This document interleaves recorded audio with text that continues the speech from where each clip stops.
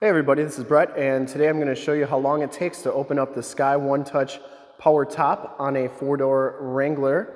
We have a 2023 Sahara Altitude here with the One Touch Sky uh, power top. So we'll hop in and get right to it. We'll time how long it takes to open this thing and then how long it takes to close it as well. So if we're going to start it, we'll start it right on 30 seconds in the video.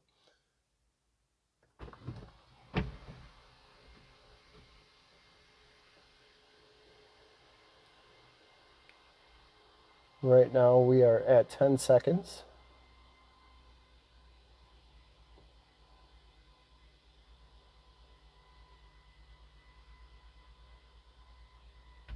And it ended right at 50, so it takes 20 seconds to open that uh, top.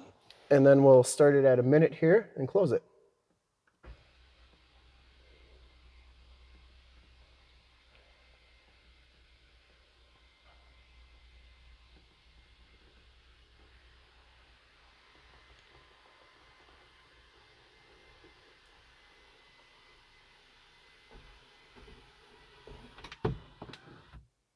And it ended exactly at one minute and 20 seconds. So right around 20 seconds to open and close it.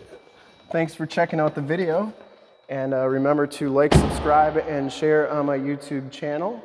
In fact, in a second, you'll see a link to subscribe to my YouTube channel in the upper left, a link to more Wrangler videos I've done in the upper right, a link to more demonstrations in the lower left, and a link to one of our latest YouTube videos in the lower right. Click those, check us out. Thanks for checking out the video. Give us a like, thumbs up, and uh, subscribe and share. Thanks again.